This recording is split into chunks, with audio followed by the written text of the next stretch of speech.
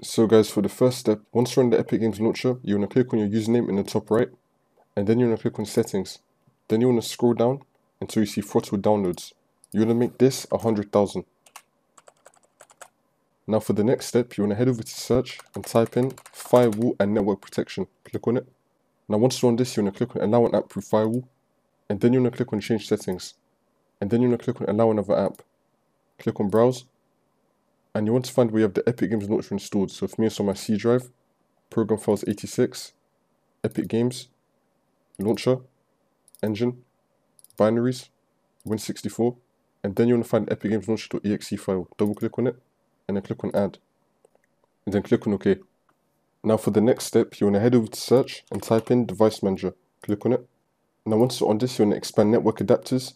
Then you want to find your network adapter. This one's mine right here. You want to right click on it and then click on update driver. And then click on search automatically for drivers. Make sure that the best drivers for your device has been installed.